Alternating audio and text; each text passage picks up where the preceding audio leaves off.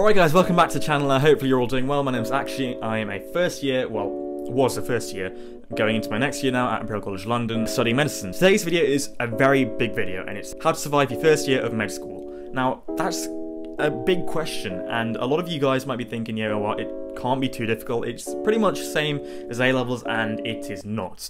Uh, it is really not the same as A levels, and med school already takes biology and chemistry and just raises it to a whole new level. And being able to survive that transition period, you've got to be able to do a few things, and we're going to go through those things in this video. Again, we'll have timestamps just here, so you can go and click to any part of the video that you want to find more relevant, or that you want to, you know, look at in more detail. Uh, if not, feel free to join the rest of us as we go through this video in chronological order. But yeah, so the first part of the video, we're going to be talking about how exactly to organize yourself. The second part of the video is going to be how exactly to take notes at med school, and the third part of the video is going to be how to revise for exams. Now, these are going to be very brief, and I'll probably make videos more in detail, especially about the last part. This is going to be a very sort of whistle-stop tour, if you like. So uh, I understand that this might leave some of you a little bit confused at some points, but feel free to drop any questions in the comments below. Uh, also, feel free to ask anyone else in the comments. I'm sure there'll be a lot of people willing to help out. Before we get into the video, make sure you guys uh, subscribe. Uh, we are very close to 400 subscribers, and would be super cool if you guys could hit the subscribe button. And uh, yeah, that's everything. Uh, let's get straight into it.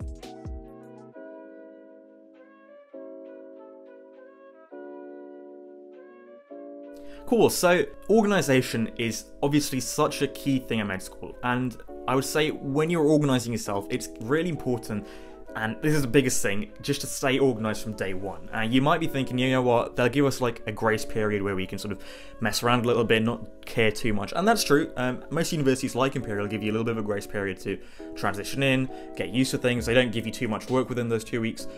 But it is just really helpful to just stay organized from day one.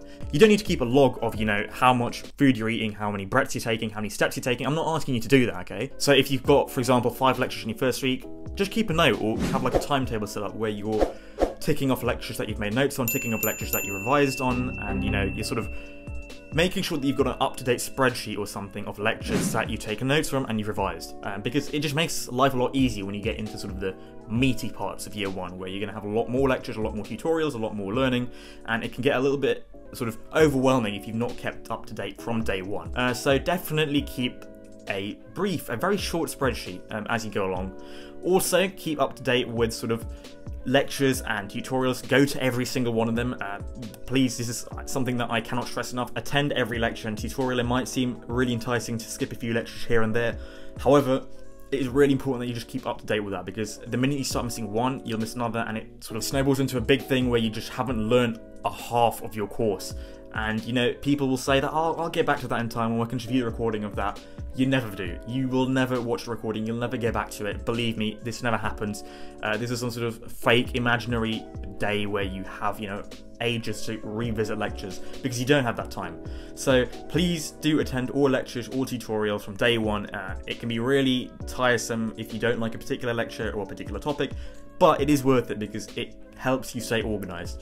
And so yeah, I would definitely say to do that.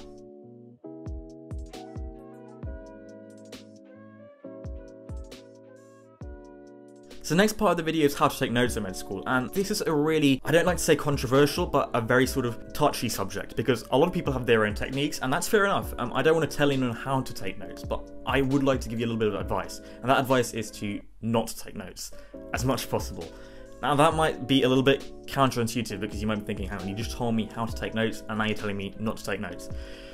But what I don't want people to start doing is take passive notes because at med school you don't have time, believe me, you've not got time to you know, sit around taking passive notes on Microsoft Word and making colourful little diaries of every lecture you've done because there are notes available from somebody somewhere for every single lecture that you do. And what you don't want to be doing is being that one guy who just takes notes which you're not going to go back over, which won't help you during revision. And what you should be doing is either taking notes just to keep yourself engaged in the tutorial or in the lecture, and maybe just tossing those notes away at the end of the lecture because you're not going to revisit them. Um, something maybe just to keep you sort of engaged or sort of awake during the lecture or tutorial, or making sort of flashcards during your tutorial or lectures, making sort of uh, revision Q&As, um, something that involves active revision. If any sort of note-taking method requires you to make questions or requires you to recall information, that's going to be effective uh, as opposed to sort of just writing down lines and words and sort of incomprehensible basic copies of what your lecturer is saying because that doesn't help um, if you can imagine what I'm saying. So get an app like Brainscape or Quizlet and make some flashcards or just make some notes just to keep you awake during the lecture. Come home, make some question and answers. That's all you really need to do at med school. You shouldn't be wasting time, you know, making colourful notes on Word, you know, drawing stuff on OneNote. You know, it, it, it can be helpful to some, but realistically, you're not going to go back over it when you're revising for exams. So I would definitely say to keep flashcards and Q&As, but anything else that isn't active really isn't worth the time at med school and you just find that you never have the time to go back over them or even to keep doing that. So please do stop doing that and avoid doing that at all. Um, i'm telling you guys the same from my own mistakes. I did this at one point and realized very quickly that it's a waste of time. So yeah it, i kind of ditched it very early on. But you know for those of you who really feel attached to it um, please stop feeling attached to it. I can't really tell you guys this in any more detail, but please do not do this at med school. You don't have time, and it is probably the one of the most time wasting things that people can do. So yeah, uh, hopefully that makes sense.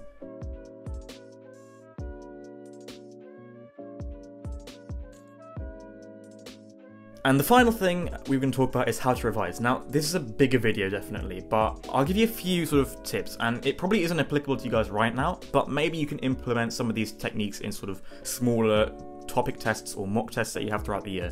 Because you will have sort of very small, very sort of irrelevant tests that just help you learn and, you know, they don't count for anything, but, you know, they're sort of like your school vocabulary tests. They don't really matter, um, but, you know, they're just helpful for you to gauge your understanding. So maybe you can implement these things and sort of figure out what works for you and what doesn't. So when you're revising for medical school exams, the main thing you have to be doing is doing active recall, whether that's flashcards, Q&As, any sort of technique that requires active recall, that's the best thing. What you don't want to be doing is going over notes that you've already written and sort of rewriting them, or rewriting a textbook, or rewriting a tutorial in your own words. You know, that might sound like it helps because it's in your own words and it's shorter, but realistically it doesn't help you actually remember or retaining the information, which is the most key thing you need to do when you're revising. So make sure you're always doing active recall, whether that's Q&As or flashcards or anything else that requires you to engage yourself. Also, make sure if you're doing anatomy to use as many cadaveric images as possible. So what a cadaveric images is, is basically any sort of image of a dissection or prosection. Um, I'm not going to put it on the screen because YouTube will probably, you know, lock this video down very quickly. But if you just type in cadaver images or anatomy into Google or into sort of uh, lib texts, whatever comes up is pretty much what I'm talking about.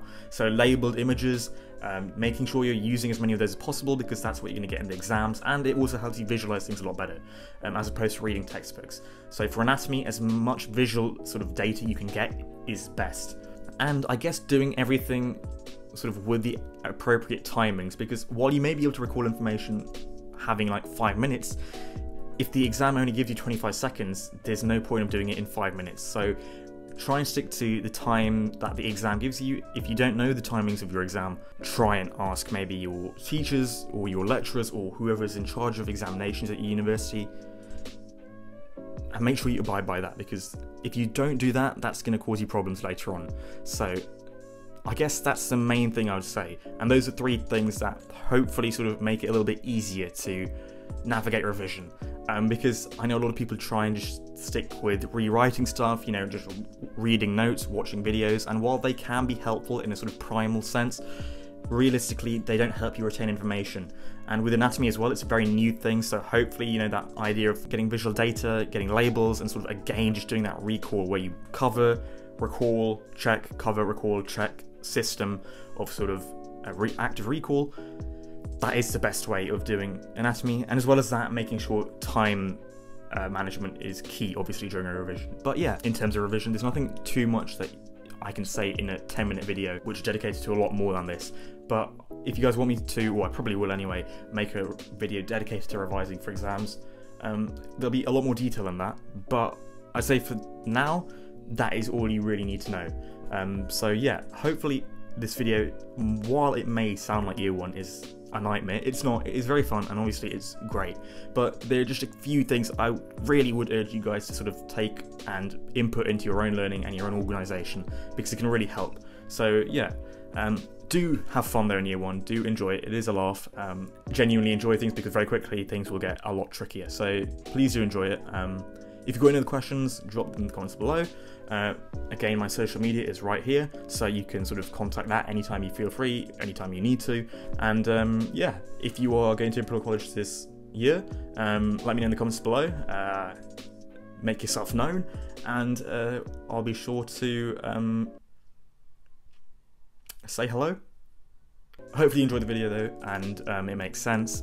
Uh, please do like it, and also feel free to hit the red button and follow the channel, um, because we're very close to 400 subscribers, and would be really helpful. So yeah, um, I think that's everything. I'm sort of waffling on a bit now. I'll let you get back to your day.